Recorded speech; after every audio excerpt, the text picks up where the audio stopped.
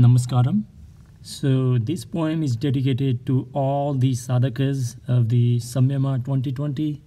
2,500 of them uh, underwent the two months preparation uh, for this silence program by Isha Foundation, and it is yes absolutely offered free by Sadhguru for their commitment to know the dimensions beyond the physical in the utmost glory.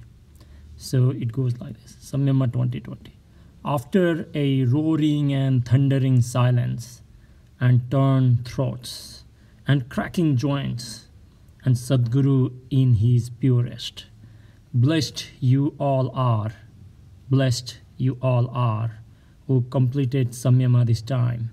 Yet Samyama has just started. Bow down to each of you, bow down to each of you.